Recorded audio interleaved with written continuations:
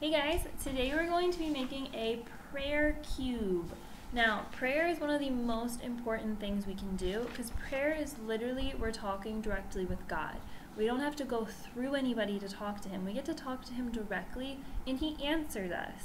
It might not always be things that we want to happen, but He always knows what's best for us. But sometimes praying can get not boring, but you just kind of get used to it and it's like, prayer, nah, I don't really want to pray. Well, this is a really neat way to just help make prayer a little more fun and to help you remember what you should be praying for. Okay? So, we're going to be making a prayer cube. You should have a printout of a cube. If you don't have a printout, you can take a white paper or thin colored paper and you can put it against your screen where the picture of the cube is. And then using a pen, you'll be able to see the lines and you can trace them, okay? So if you don't have a printer, all you need is a paper and a pen with your computer and you can trace it. The first thing we're gonna do for this prayer cube is we're gonna cut it out. So cut out your cube. So once you have your prayer cube cut out, you then need to decide what you're going to pray for. So you could do this either by drawing pictures or by writing words. On each side of it, you want to have a category. For example, maybe one side is family and you write all the names of your family members or you draw a picture of everybody in your family. Maybe one is friends. Maybe one is you want to pray for people who are sick or you want to pray for your teachers. Okay? Whoever you want to pray for or whatever, maybe you want to pray for peace in the world or you want to pray for all of those who don't have a home, all the poor people. Okay? Whoever you want to pray for, you want to write on or draw on your cube. You can decorate this as much as you want to make it personally for you. Okay? After you've written or drawn all the things on your cube, you're ready to fold it up. So what you want to do is you want to fold it on the lines going towards the middle here. I'm going to fold everything towards the middle.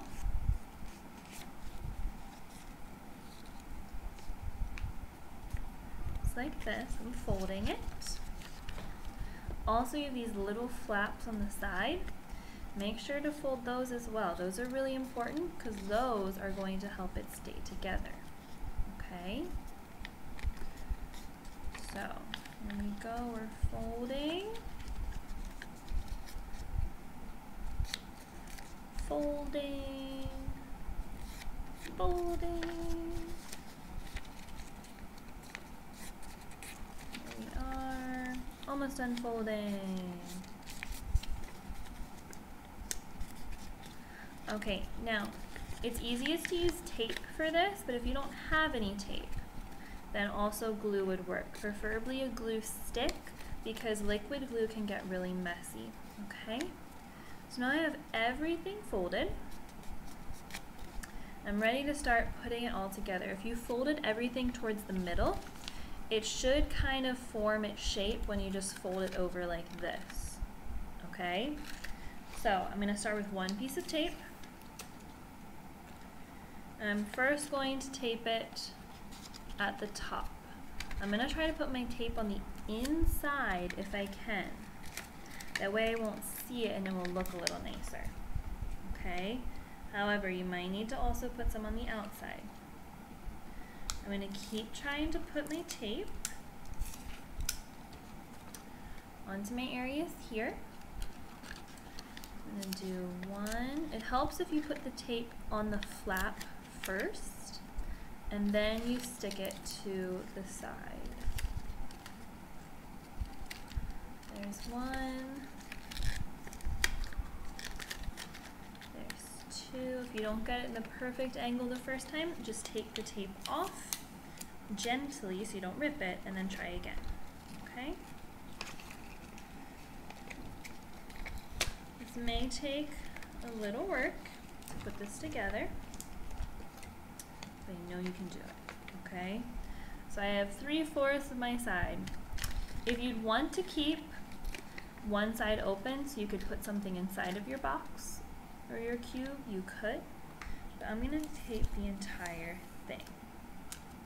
Okay?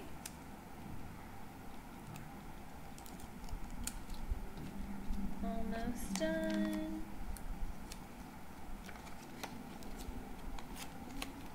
Now, when you're done your prayer cube, each night before you go to bed, you can put this next to your bed. And then each night, you could pray for everything, or you could try to pray for one thing each evening. So, for example, you could roll your prayer cube, and if it lands on family, you pray for your family that evening. But if you want to pray for everything, which might be nice, then you could just hold it in your hands and start with family, then friends, then this, then that, and this, and that. Okay? So I hope you enjoy making your prayer cube, and I hope you put a lot of time and thought into who you're going to be praying for. Prayer is very powerful, so do not take it lightly. Prayer can really change things, guys. You're not just talking to the sky, you're talking to Jesus, who is your and mine creator.